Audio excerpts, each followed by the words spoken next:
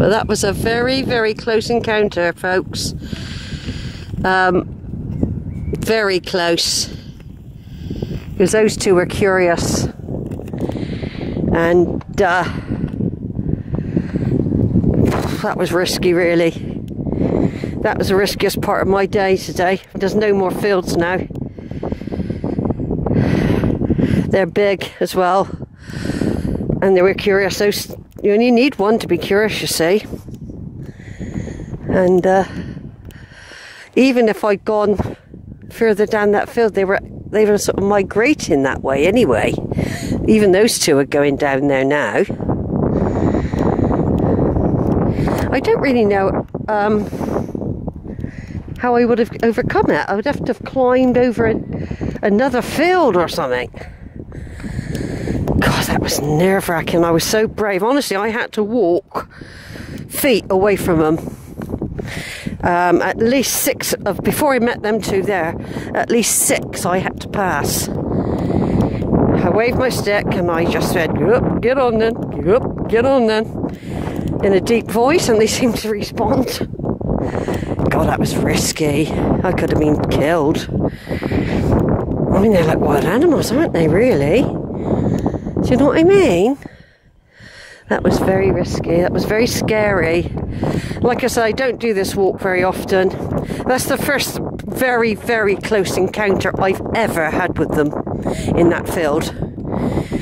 I've never had that that close. I don't think so. They've normally been sat down somewhere. So uh, that was a that was too risky, and they come in here by the look of it. It just makes you wonder if the farmers don't want people to.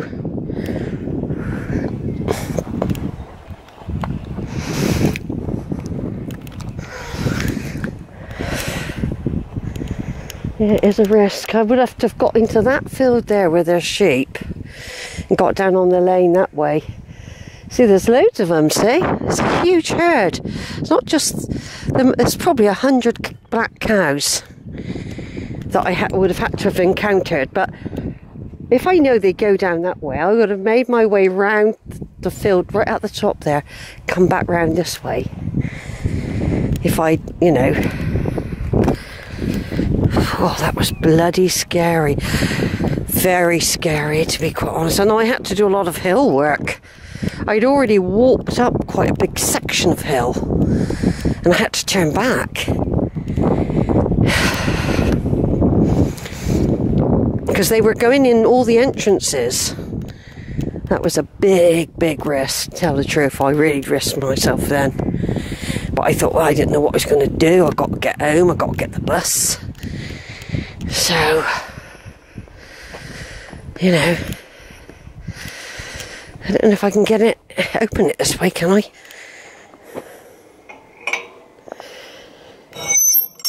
Yeah, there we go. Saves climbing the stile, doesn't it?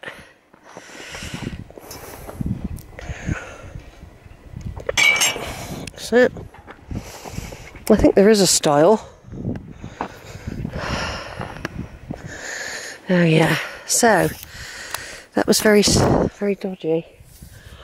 And there's still loads of cows coming down from the hilltop. So obviously, I think if, if you could, you had lots of time, you could wait an hour or so, and they'd all gone down in the lower field. They were all bullocks.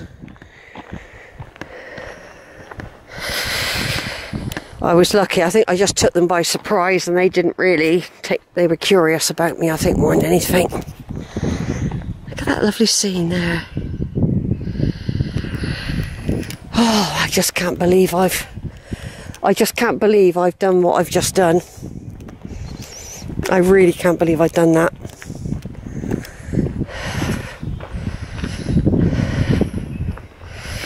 Right, over and out for a minute. Someone coming. Right then, this is the West Mendip Way. Leaving Shipham behind and the cows. And it's uh, not too bad. So this is a good sign if it's uh, dry here. I'm not going to rush down there. I've decided I can get the six o'clock and I just have to pray it arrives. Because um, I don't want to rush. It's a lovely evening. There's no reason why I can't get the later bus, you see. No reason at all. It's very grown. How grown it is. I don't know if anyone comes and sort of cuts it back at all. I mean, look, you see how muddy that bit is. They've put barriers up to stop people trying to cheat by coming along this way. So I suspect that's what was happening. They soon get stuck. They'd hit their exhaust off on the as well. Anyway, I've had a nice bit of cheese. The rest of my cheese, the rest of my tomatoes. And I've got a nice sort of oatmeal bar to eat. I've got another orange. I've got a packet of cheeselets. I've still got sweets. So I'm making most of it. The weather's actually improved as the day's gone on. So this is the West Mendip way. I've come up it and gone down it. But I'm, to be quite honest, I do not feel like doing that field again. Uh, I mean, I met a gentleman hiker a minute ago. He was going to go across. He'd been over it earlier in the morning. And the cows were high up the field. So now they come down low. But I, it, it does put me off when I know I've got to do that. I'd have to think of an alternative route. But it's a dangerous road, you see, there's no pavement. Otherwise, I could have come up on this particular road where I am now. Although there is another way through Longwood where you come out and you have to do a bit of a road just for a little while and then you can cross over onto this track. So I'm, i probably have to do that um, if I do that walk again and I'm coming, I want to come this way. I'll have to avoid those fields. I can't go through the fear of that again. I mean, I put on a brave face, but I was absolutely petrified. Um, I don't want to take risks like that, really. It's not worth it. I was very lucky that I got away with it. To be quite honest, the cows are more interested in eating and um, but there were two that were curious, and it only takes one to be curious. But I'd managed to get to the gate. They just watched me. They were very curious. They were staring at me as I was trying to climb the gate. I couldn't get over the stile. It was too high for me. I couldn't just step over the stile. So I had to, and I was taking ages. I was trying to get over this wobbly gate and then pass over onto the stile so I could get down. And they were just staring and they were quite close.